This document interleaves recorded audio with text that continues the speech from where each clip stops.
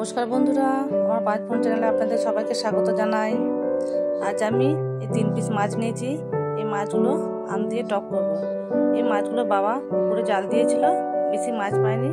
এই তিনটে মাছ পেয়েছে, একটা লাইলন টিকা মাছ আর দুটো বাটা মাছ। এই মাছগুলো আজকে আমি আম দিয়ে হালকা টক করব। তার জন্য এখানে আমি দুটো মাঝারি সাইজে পেঁয়াজ কেটে নিয়েছি, জিরে, গোলমরিচ আর আদা বাটা সর্ষে আর লঙ্কা বাটা, হলুদ গুঁড়ো, নুন, দুটো আম কেটে নিয়েছি ছোট সাইজের, আর এখানে সর্ষের তেল। আপনারা প্রথম থেকে শেষ পর্যন্ত দেখবেন। আমি এখানে বেশি মশলা দিচ্ছি না, আমি অল্প মশলা দিয়ে রান্না প্রথমে আমি উনুনটাকে ধরিয়ে নেব। কড়াই বসিয়ে দিয়েছি। কড়াই এবার সর্ষের তেল দিয়ে দেবো। তেল গরম হয়ে গেছে। এবার আমি মাছ কটা ভেজে নেব।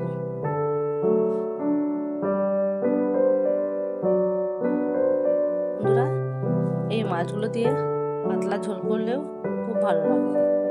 কিন্তু আজকে আমি এই গরমে আম দিয়ে হালকা টক করব। মাছগুলো ভাজা হয়ে গেছে, এবার উল্টে নেব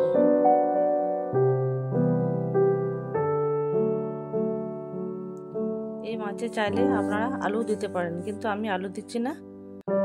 আম দিয়ে শুধু টক করব।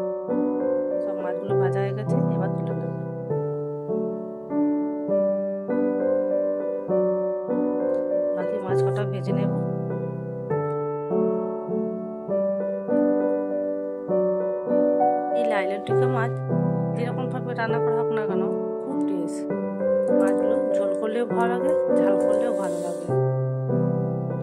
মাছগুলো একটু ভাজা হয়ে গেছে, এবার উল্টে নেব। মাছগুলো এপিট ওপিট ভাজা হয়ে গেছে, এবার তুলে নেব। বাকি মাছগুলো একইভাবে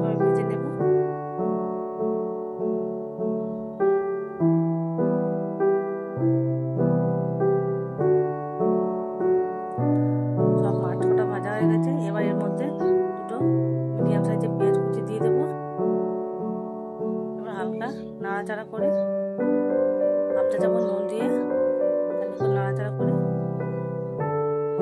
ঢাকা দিয়ে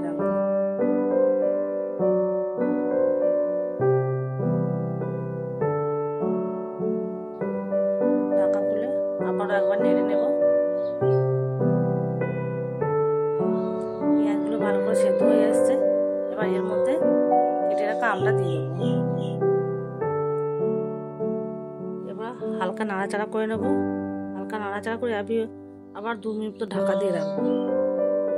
দু মিনিট পর ঢাকা খুলে মশলা বাটা দিয়ে দেবো। আদা, জিরে আর গোলমরিচ বাটা। মশলাগুলো দিয়ে আবার ভালো করে একটু কষে নেব। মশলাগুলো ভালো করে কষা হয়ে গেছে। এবার এর মধ্যে হাফ চা চামচ হলুদ গুঁড়ো দিয়ে আবার হালকা নাড়াচাড়া করে নেব। এবার দিয়ে দেবো সর্ষে আর লঙ্কা বাটা।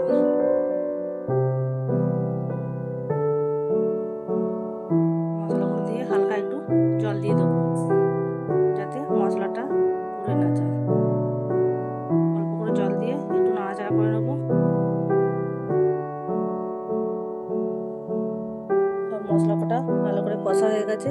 এবার এর মধ্যে বাকি মশলা বাটা জলটা দিয়ে দেবো।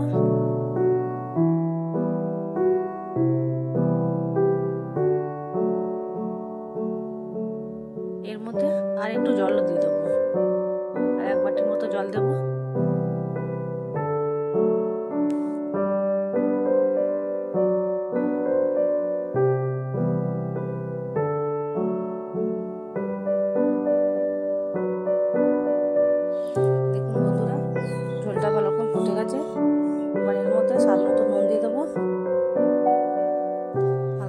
নাড়াচাড়া করে ভেজে রাখা মাছ কটা দিয়ে দেবো।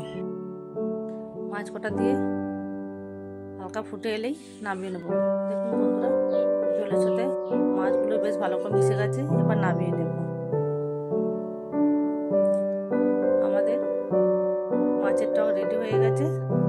বন্ধুরা, আপনারা এরকম গরমে আম দিয়ে হালকা মাছের টক করবেন, খুব ভালো লাগবে।